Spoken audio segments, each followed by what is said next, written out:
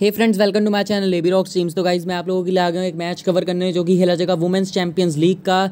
Wolfsburg women's versus Chelsea women's के बीच दो घंटे ग्यारह मिनट के बाद। तो इस मैच की फाइनल टीम आपको लाइनअप्स के बाद मिलेगी मेरे इस चैनल पर, जिसका नाम है AB rocks dream eleven teams तो इसका लिंक मैं आपको गाइज़ डिस्क्रिप्शन बॉक्स में डाल दूँगा कि बाद में आपको ढूँढने में प्रॉब्लम ना आए।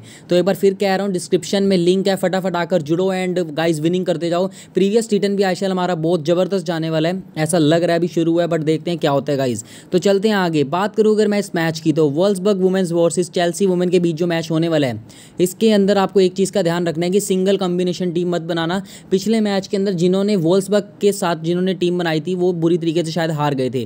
क्योंकि क्या था कि पिछले मैच के अंदर चेल्सी टीम में अच्छा परफॉर्म करके गई, अब ये चेल्सी टीम के इस प्लेयर ने गोल कीपिंग इतनी ज़बरदस्त की थी।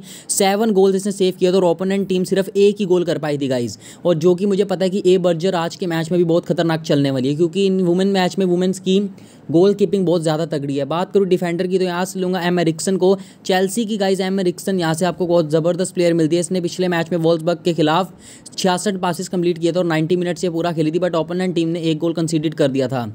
वॉल्सबर्ग की अगर मैं बात करूँ गाइज़ ये टॉप की प्लेयर जिसका नाम है गाइज़ डी ब्लडवर्थ इसने पिछले मैच के अंदर एक गोल किया था जो कि बिल्कुल लास्ट मूवमेंट गोल था और इसकी सिलेक्शन पिछले मैच में सिर्फ़ दस परसेंट थी। और आज इस प्लेयर की सिलेक्शन सबसे हाई है पूरे डिफेंडर में eighty three percent F Rauch की बात करूँ तो देखो, अगर गोल तो कोई भी कर सकता है, लेकिन ये होते हैं अनएक्सपेक्टेड गोल क्योंकि डिफेंडर पर मैं भरोसा नहीं करता ज़्यादा। तो एफ़ रॉच को मैं इसलिए अपनी टीम में ले रहा हूँ, क्योंकि इसकी सिलेक्शन बहुत ही कम है और ये हमारे काम आ सकती है गाइज़ और आगे से बात करूँ कि हैंड्रिक की तो कैथरीन हैंड्रिक ने पिछले मैच के अंदर without any goal without any assist बिना क्लीन शीट के बहुत अच्छी पारी खेली थी। मतलब देखा जाए तो थर्टी नाइन पासिस कंप्लीट किए थे और इंस्क्रिप्शन भी वॉन किए थे इस प्लेयर ने।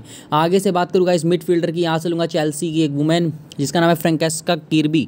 तो ये प्लेयर के मैक्सिमम बहुत गोल्स हैं अपनी इस लीग में, क्योंकि लेफ़्ट हैंड साइड मिडफील्डिंग में इकलौती एक खतरनाक प्लेयर है, वो यही है गाइस क्योंकि काफ़ी लोग ना इसकी जगह ट्राई करेंगे जे यन को बट जे यन का रिकॉर्ड काफ़ी ख़राब है, अगर हम इन दोनों में कंपेयर करते हो। इसलिए मैं आपको ये राय दूँगा कि एफ़ किरबी बेस्ट ये गाइज़ ए पॉप की बात करूँ पॉप के खाते में इतने गोल तो नहीं है बट अनएक्सपेक्टेड गोल है। मतलब जैसे कि पैंतालीस पचास मिनट खेलने के बाद अगर ये किसी की जगह सब्सिट्यूट आती है तो गोल वगैरह करती है। लेकिन जब ये खुद स्टार्टर फाइव में स्टार्टिंग इलेवन में होती है तो ज़्यादा इसके अंदर पावर मैंने नहीं देखी, पर फिर भी मैं इसको इसलिए ट्राई कर रहा हूँ कि असिस्ट कर सकती है ये आज के मैच में।